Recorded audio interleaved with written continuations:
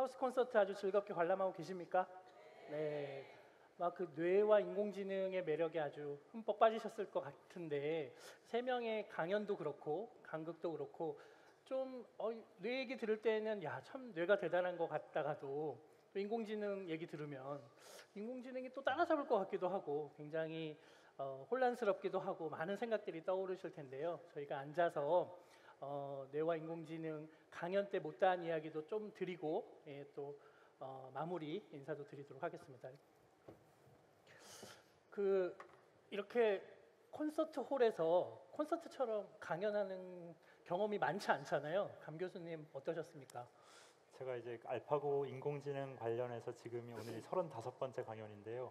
이런 조명 안에서 해보는 거는 처음이거든요. 또 네. 열심히 들어주시니까 또 저도 더 재밌는 것 같습니다. 뭐 익숙하시다는 임 교수님 어떠셨습니까?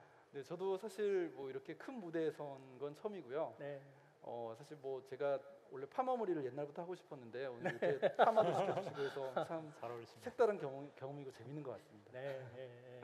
아니 저도 뭐 이렇게 혼자 강연하지 않고 이렇게 같이 또 네. 입장이 약간 다른 분들과 강연하니까 더 재- 재밌고 완전히 몰입해서 들었고요. 강극 너무 재밌고 감동적이지 않아요? 어, 저는 완전 빠져서 봤습니다. 연기도 너무 잘하시고 이야기도 굉장히 다이나믹하고 뇌에 관해서 많은 생각할 거리를 주신 것 같습니다. 준비를 너무 잘하신 것 같고요. 그 듣다 보니까 거의 감 교수님은 그냥 인공지능이 조만간 창의 인간의 창의성도 다 따라잡을 것 같은 기세로 강의를 해주셨는데 그 컴퓨터가 어떤 수준의 창의성까지 드러낼 수 있을까요? 어, 그러니까 예를 들면 알파고에서 그 전혀 학습하지 않았던 오히려 우리 인간이 바둑에 대해서 갖고 있는 이- 이해로는 두지 말라고 하는 수들을 뒀거든요. 그 다음에 전혀 이렇게 생각하지 못했던 완전히 그 어떤 상자 밖에서 이렇게 생각하는 네. 그런 수들도 둬서 네. 그런 걸 보면은 아까 이제 체스에서의 경우처럼 어, 굉장히 창의적이다. 네, 그냥 기존의 어떤 것들을 흉내낸다는 차원은 분명히 넘어선 것 같아요. 그래요. 예, 그게 이제 바둑은 아주 특수한 문제고 일반화할 수 있느냐 그 문제는 이제 또 다른 문제겠습니다만. 네, 네, 네. 일단 바둑의 틀 안에서는 굉장히 창의적인 네. 어떤 경지에 다다랐다고 보여지고 만약 그것을 확, 확대해서 적용해 보자면 뭐 다른 분야에서도 충분히 그런 성취를 누, 네, 안 된다고는 말을 못할 것 같습니다. 어, 된다고 보여지기 전까지는 전 안 되는 걸로 믿는 게 합리적 회의주의라고. 저도 이제 그 시합 전에 이세돌 구단이 5대 0으로 이길 거다 막 이렇게 방송에 떠들고 다녔거든요. 네. 근데 딱 겪어 보니까 네, 뭐가 안 된다고 얘기하는 거는 굉장히 위험한 것 같습니다. 아, 네. 네, 네. 상상한 모든 것은 대체로 이루어지니까. 네. 임 교수님은 창의성 영역 어떨 것 같으세요? 어, 저는 사실은 어, 사실 좀 2대 1로 싸우는 것 같아가지고 제가 좀 죄송하긴 한데요. 제 개인적인 생각으로는 아직 인간의 어떤 창의력이라든가 직관을 따라오는 거는 좀 무리가 있지 않나라는 게 제 개인적인 생각이고요. 네, 사실 그 알파고 같은 경우에 제가 그 알파고가 나왔던 네이처 논문을 찾다가 사실 언론에서 많이 다뤄지지 않았던 거를 발견을 했었는데요. 네. 그게 뭐였냐면은 사실 파노이 2단이 알파고를 두 번 이겼습니다. 네, 그러니까 그거는 이제 사실 언론에는 그렇게 많이 보도가 되지 않았었는데요. 그러니까 음. 비공식 대결에서 두 판을 이겼고요. 네. 그때는 맞아요. 조건이 뭐가 뭐였냐면은 사실 시간 제한이 없고 시간 제한을 네. 준게 아니라 그냥 음. 30초 초읽기만 있는 네. 상황에서는 심지어 그 파누이 2단이 이긴 적도 있습니다. 그게 뭘 얘기하는 거냐면요. 사실은 시간이 충분히 주어지지 않고 그냥 직관에 의존해 가지고 두는 경우에는 사실 네.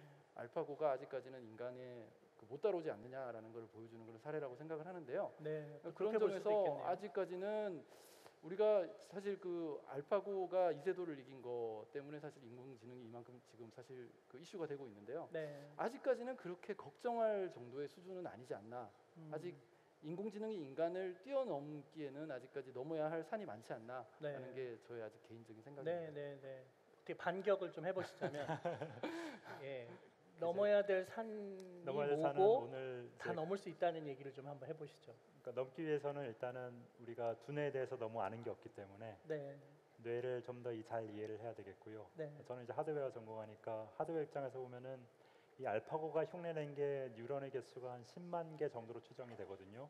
근데 우리 두뇌는 아까 말씀하신 대뇌피질이 한 천억 개 정도. 그래서 이게 10만 개 지금 수준인데 이게 천억 개로 갖다 놓으면은 이제 어떤 일들이 벌어질까?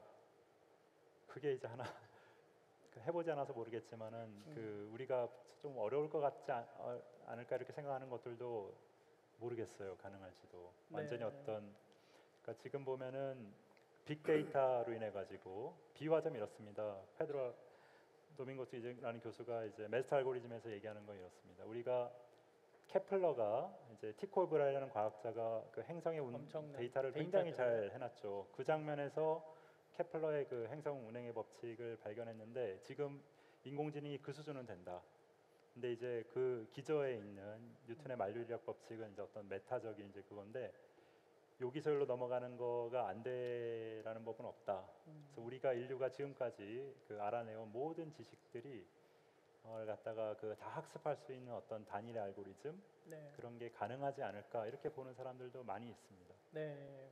아 그런데 그 사실은 인공지능이 굉장히 발달하기 위해서 굳이 뭐 비행기가 새 날개를 흉내내지 않았듯이 인간의 뇌를 굳이 흉내낼 필요 없다고 생각하시는 분들도 굉장히 음, 많잖아요. 네. 그런데 전 감 교수님은 어, 인공지능이 인간의 지성을 앞지르기 위해서는 어쨌든 인간의 뇌가 어떻게 작동하는지가 굉장히 중요한 실마리를 제공해 줄 거라고 믿으시는 네, 거죠. 네. 네. 그리고 그런 방식의 접근이 가장 좋은 결과물을 낼 거라고 생각하시는 거고. 네. 네.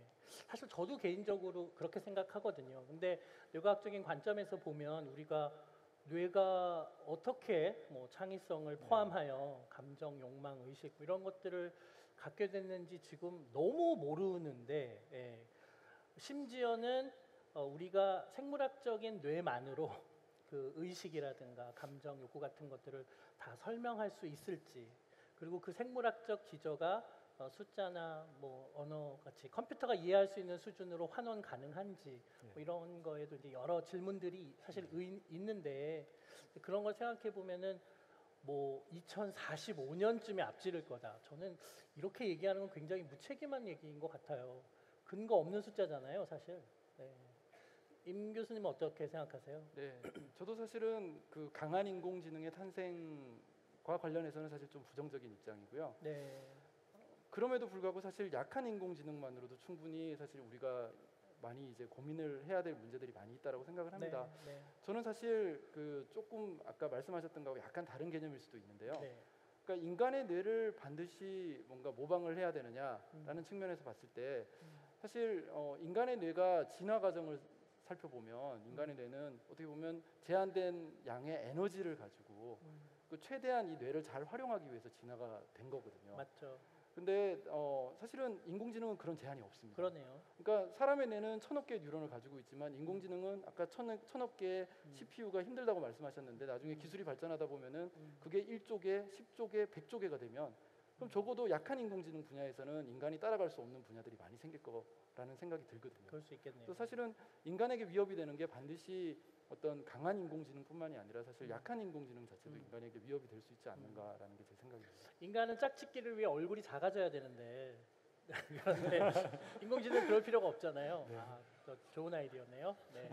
이 인공지능에 대한 새로운 통찰을 주셨습니다. 그 이제 마무리해야 될 시간인데요. 그 마무리 한 말씀 예, 들어보도록 하겠습니다. 감 교수님, 그 인공지능이 발달할 미래를 위해서 그 인간들이 지금 어떤 준비를 하면 좋을까요? 그걸로 마무리 멘트를 해주시면 어떨까요? 한 가지 방법은 이제 과학이라든지 수학이라든지 좀 더 그런 것들이 더 조명받는 그래서 이제 여러분들께서는 이런 콘서트에 오실 정도니까 굉장히 좋은 조건에 있는 것 같고요. 아니면 이제 그 반대로 인공지능이 아무래도 좀 취약하다고 이렇게 생각되는 사람과 사람 사이 관계라든지 그러니까 저기 휴먼 테크놀로지 뭐 EQ라든지 이런 거 있죠. 네. 그 사람 사이 관계를 어떻게 할지 오히려 그런 거를 잘하는 게 어, 앞으로는 좀 더 인간이 네. 인공지능을 이렇게 막 이제 압도할 수 있는 분야가 아닌가. 네. 이제 우리 교육이 그런 거를 지금 잘 못 살려주고 있기 때문에 네. 그런 것들이 좀 안타깝고요. 아까 말씀드린 것처럼 앞으로 시대는 이제 어떻게 바뀔지 예측을 누구도 못 하거든요. 음. 스티브 잡스 같은 사람은 한 2년 뒤를 내다볼 수 있을지 모르겠어요. 음. 저 같은 일- 평범한 엔지니어들은 1년 뒤도 예측이 안 되니까 지금 우리 교육 모델 한 15년 공부해서 2, 30년 이렇게 써먹으려고 하는 모델들이 지금 이미 그 유효기간이 경과했고 그래서 앞으로는 평생 공부해야 되는 시대인데 어, 여러분들이 관심을 계속 가지시고 공부할 자료는 널려 있거든요. 네. 그래서 이제 이렇게 찾아보시면은 그러니까 아까 이제 겸손한 자세로 내가 항상 있다는 생각으로 계속 공부 관심을 갖고 공부하는 게 중요한 시대인 것 같습니다. 네, 네, 네. 임 교수님은 인공지능과 뇌그 다리를 아주 오늘 강연에서 잘 놓아주셨는데, 예, 뭐 당부 말씀 한마디 해주시죠. 네. 뭐 사실 뭐감 교수님과 정재승 교수님께서 이미 이제 아까 강연 중에도 그렇고 지금도 좋은 말씀을 많이 해주셔가지고요.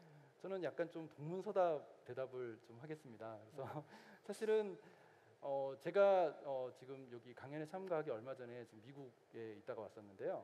그 미국에서 제가 바캠 뮤지엄이라고 하는 곳에 갔었습니다. 네, 그 뮤지엄이 사실 전기의 역사를 전시를 해놓는 그 박물관이었는데요.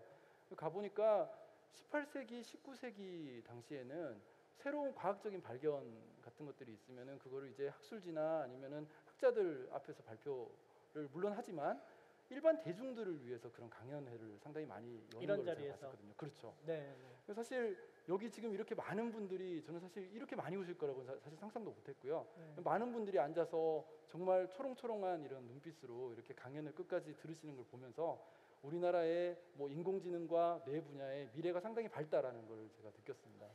네. 제가 이런 자리에 함께 할 수 있는 게 상당히 영광이고요. 오늘 하루 참 기쁜 날이었습니다. 네, 네. 아이고, 뭐 저도 이하 동문이고요. 네.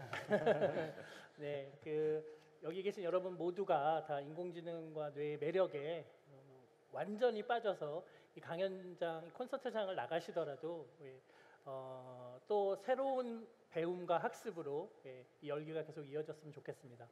그 두 가지 광고 말씀이 있는데요. 올해 그 카오스 재단에서 음, 뇌 강연 시리즈를 열 번에 거쳐서 했고요.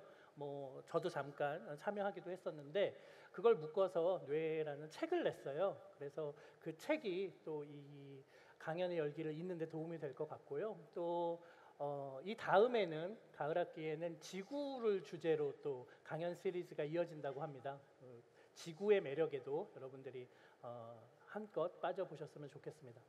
그 마지막 인사 나눌까요? 네. 그 강극해 주셨던 그 커- 과학 커뮤니케이터 분들 다 나오시죠. 그리고 앞에 마술 했던 제 지도 학생입니다. 네. 어, 지도 학생이 연구보다 마술을 더 잘할 때 지도 교수의 심정. 네. 요- 오늘 아주 만끽했고요. 네네. 아, 이렇게 제대로 인사드리겠습니다. 아, 콘서트 즐겁게 봐주셔서 감사합니다. 네. 고맙습니다.